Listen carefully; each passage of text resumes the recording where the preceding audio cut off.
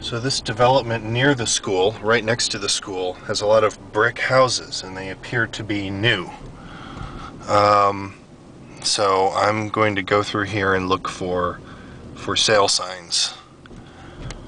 Um, there's the school right there, very close.